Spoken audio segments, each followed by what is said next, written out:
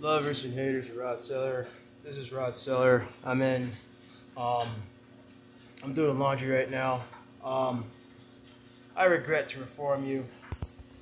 I regret to talk that my favorite childhood actor, you know, the guy I looked up to, the guy is the reason why Power Rangers lasted this long, he has fallen.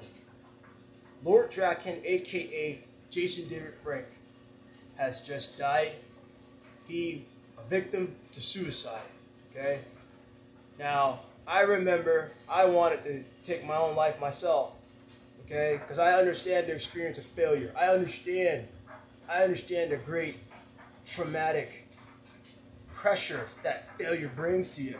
You know. Okay. Yeah, TMZ just confirmed it. Okay.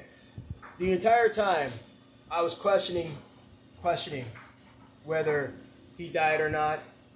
You know, and then Walter Jones, aka Zach, had confirmed it, and then other people started to confirm it, and then now TMZ has confirmed it, and a lot of his, his trainers and, and, and ex colleagues and stuff, they were confirming it too.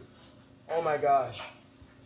This will not be the first or last video about JDF because I'll be talking about JDF because this guy is the reason why I haven't become a criminal.